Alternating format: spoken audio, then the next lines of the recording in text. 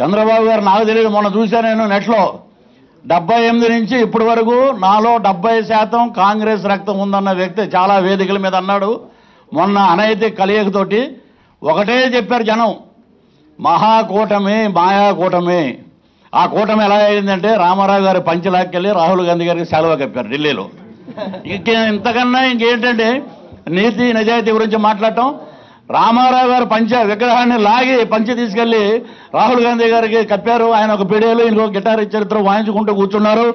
ఖమ్మం నుంచి కూకటిపల్లి వరకు రోడ్ షోలు పెట్టారు మరి.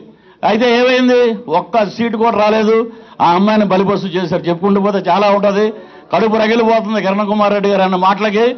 నీవు నువ్వు ఎంతవరకు ఉంటే అంతవరకే ఉండు. ఆఖరికి హరిదాసులు వీళ్ళు వస్తుంటారు సంక్రాంతి పండక్కి. అలాగే వచ్చినట్టు చాలామంది వస్తున్నారు ఈ మధ్య.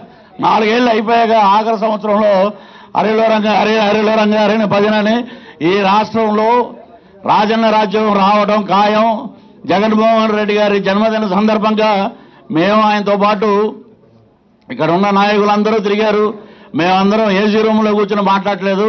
పాదయాత్రలో ఆయనతో పాటు మమేకమే జనాల మధ్య ఉన్న నాయకుడే ఈ రాష్ట్రానికి కావాల్సిన నాయకుడు ముఖ్యమంత్రి హోదా ఎవరిదంటే జగన్మోహన్ రెడ్డి గారు అని చెప్పి సవినంగా తెలియజేస్తూ ఈ కార్యక్రమానికి వచ్చినందుకు చాలా ఆనందపడుతూ ఒక జెండా మోసే కార్యకర్తగా కృష్ణా జిల్లా కాదు మొత్తం ఆంధ్ర రాష్ట్రం మొత్తం తిరిగి రానున్న రాజ్యంలో మన జెండా ఎగరాలని మనస్ఫూర్తిగా ప్రార్థిస్తున్నాను.